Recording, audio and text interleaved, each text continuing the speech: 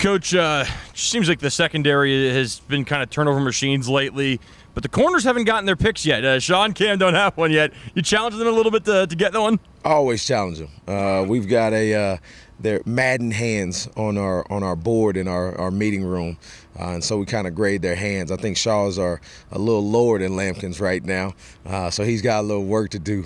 Because uh, I'm the one that's grading them, so everybody's pretty low. But uh, I challenge those guys to just go out there, execute, do their job.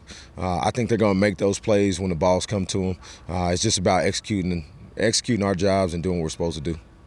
You know, Arizona's got uh, a couple really good receivers, and one of them's mm-hmm. got size, 6'5", I think 205 pounds. Um, obviously, Chau Cam, not maybe that tall or that kind of size. How do you kind of prepare them, or how do they prepare for going up against a guy who's obviously extremely skilled, but also has a pretty significant size advantage? We prepare the same way. It's always the same way. Uh, at the end of the day, for us, it's always about the execution of what we do uh, and nothing to do with anybody else. So um, every opponent, they have their strengths, they have their weaknesses. We try to do a great job of understanding what they do well, what they struggle with, uh, and then we just go out there and focus on our task and what we're supposed to do. How have you seen uh, Warren, Ethan, and Kawan kind of progress on the practice field so far this year?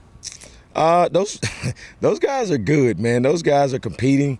Uh, they're your longer crew, uh, and so I think they do a good job. But they're still young, uh, and so they're still learning the position. They're understanding the techniques, um, and they're understanding the scheme overall. Uh, but I think those guys have a really bright future.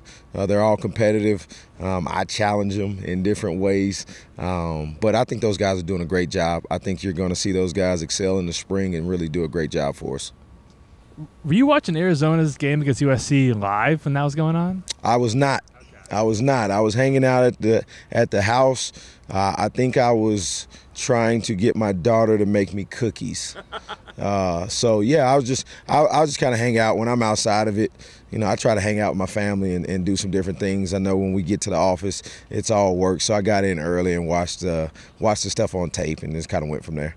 I'm just curious because obviously, like a game like that, you're obviously trying to look out for Arizona's guys, but also a triple overtime game is kind of crazy at the same time. what what did you see like on film from from them outside of you know their their their six five guy?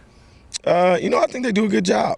Um, I, I, think those guys have a really good scheme. They do some different things, um, and I think they play hard. But at the end of the day, I, I still believe it's all about us. And, and when you look at the opponent, I approach every week the exact same. I wouldn't care who it is. I've been at the lower levels. I've been at D2, uh, and I approached every opponent like it was it was the best opponent I'd ever seen. Uh, and we coach up what we need to do, and we fix it, and we kind of go from there. I'm curious in practice when you guys are going up against John when he's in at quarterback. What does he present that is a little different from Cam, and, and how does that go for your guys a lot of times? Oh man, those guys. Um, there's not a, I, don't say there's a whole bunch of difference. I think we prepare kind of the same. We look at it the same. Uh, I think they have their their different things uh, where we kind of figure out, hey, he's probably going to try you here, he's probably going to try you there.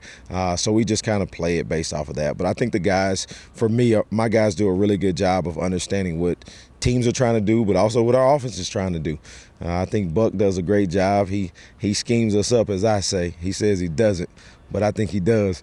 Um, but we just kind of prepare. I think Mateer is, different. I think Mateer is, is athletic. He can run. Uh, he can do some things. Uh, Cam's like your Houdini. I don't know where he's going to be, when he's going to show up. Uh, sometimes he gets on my nerves in practice, um, but I always like going against those guys, man. I think those guys do a great job, and uh, they talk a little noise with me, so it's always fun.